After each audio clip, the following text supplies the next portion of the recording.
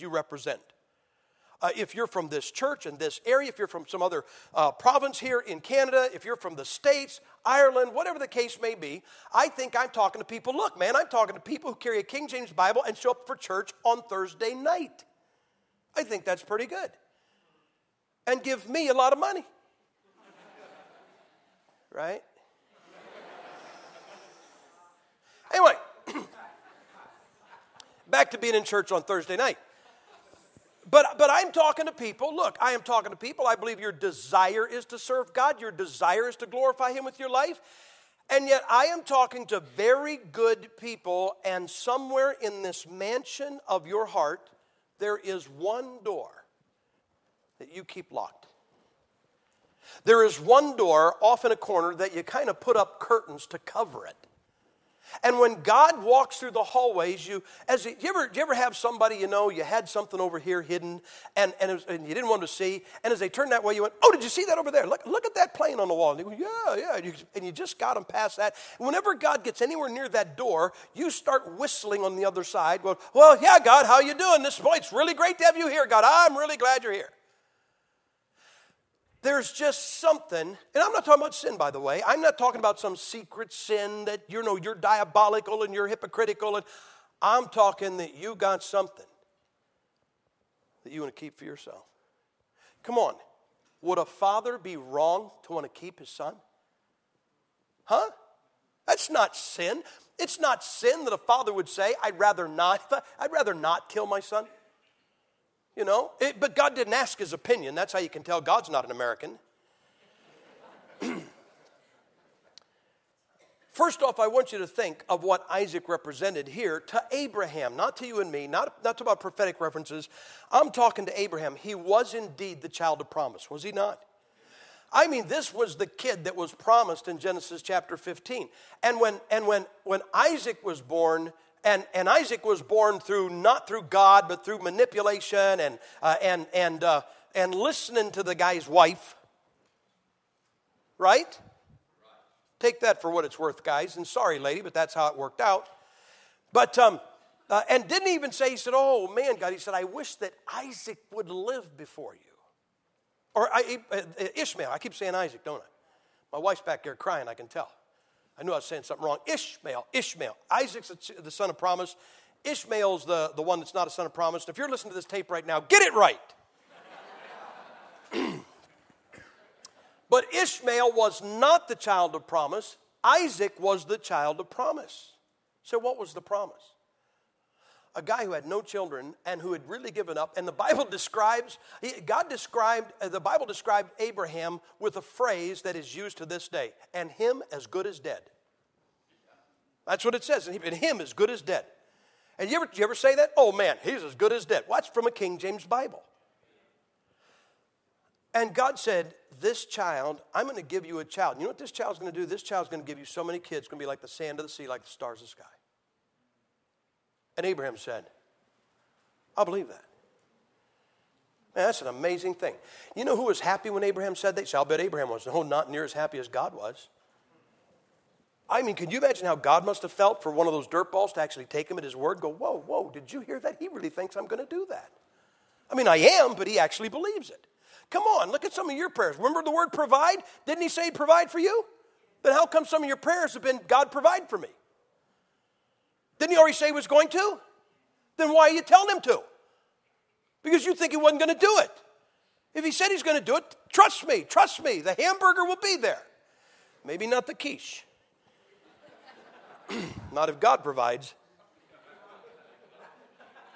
I was in a missionary's house one morning. I walked out to the kitchen. The missionary's wife said, And Brother Gipp, what would you like with your quiche? And I said, I'd like two eggs and bacon with my quiche. and that's what I got. I mean, if them poor little eggs got to got to die for something, I want to recognize them. You know what, you know what Isaac represented? Isaac represented the hope for the future. How many kids did Isaac have right now? None. Isaac had none. Wasn't even married. But he was the hope for the future. Um, my dad had two sons. both of us last name, Gipp. Well, really, you know, I mean, you got families now where you got five boys and they all got different last name. And, and we were both Gipps, and my dad wanted somebody to carry on the family name, Gipp.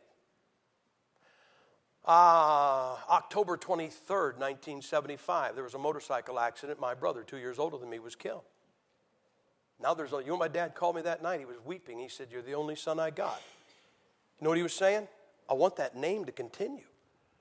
And, and that day, I became my father's hope for the future. my wife and I had three boys. I always say this I had three boys, she had four. You can figure that out later. and, um, and so uh, you say, well, there's three Gipps, and, and um, we've got, uh, we've got uh, two of them married, one of them, only one of them, uh, um, Nathan, has two girls, and we like girls, but I don't think their husbands are going to change their last name to Gipp when they get married. And right now, Nathan and Rose are expecting another child in, uh, in October. Isn't it amazing how, how we've become accustomed when you hear somebody saying they're having a baby and, and somebody says, What are they having? You remember when you found out the day it happened? I mean, we, listen, things have changed, has it not? A, a guy said something to me a year ago at a conference he, he, he put some words into a sentence that couldn't have been a sentence 10 years ago. He said, Can I take your picture? I said, Sure. He said, uh, I forgot my camera. I have to use my phone. Do you know that if somebody said that in 1967, they would end up in an insane asylum? hey, Jerry there thinks he's going to take pictures with a phone. I mean, it better be close. He's only got a five foot cord on it. How are you taking the pic? Here, smile. Should I look into the earpiece or the mouthpiece? You see what I'm saying? And now somebody says, We're going to have a baby, and you go, Oh, what is it? Hey, guess what they're having? They're having a little boy. And so this October, little Samuel will be born. now, here, let me explain something. Man, I'm telling you, our granddaughters are dolls. They are absolute dolls. I'm sorry for yours. but you know what they're not? You know what they can't be? They can't be our hope for the future. And when that boy is born with the last name Gipp, that's going to carry that name. That's what Isaac was. Isaac was the child of promise. Isaac was the hope of the future. But I got news for you. Forget either one of those. The book says he loved him. You know, isn't it, isn't it sad? I am so sad that, that we claim that the world is bad. Isn't that right? And believe everything it tells us. There are people in here, you still think dad is the ogre. You still think, you know, dad is supposed to have a good father son relationship, you know, and, and the kid grows up bad. Well, my dad didn't love me. Your dad had good taste. My dad didn't love me. He really didn't. He didn't want me. They almost adopted me out when I was a child. They, they didn't want me. I, you know why? Because I was born two years after their last child.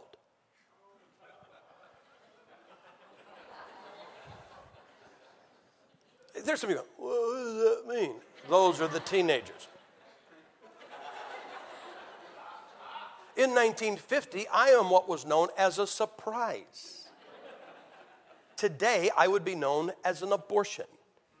Now, really, think of those two words. Isn't surprise nicer? I mean, has anybody ever walked into a darkened house? All of a sudden, the lights came on, people jumped out with balloons in the air and went, Abortion! you got to admit that surprise is a better word. And, um, but here I am. And my dad didn't love me. He didn't love me. He really didn't. But that's okay. He was a good man. I loved him, brother. I loved. I didn't. I not, didn't just love him the day he died. I love him today. I'd fight you today if you said something bad about my dad because he is a good man, and he didn't love me because he had good taste. Really, that was it. But but Abraham loved Isaac. Can you imagine that? He really loved this kid. He liked being around him he'd look at that kid and he'd go, man, you know what I did? With, because my dad didn't love me?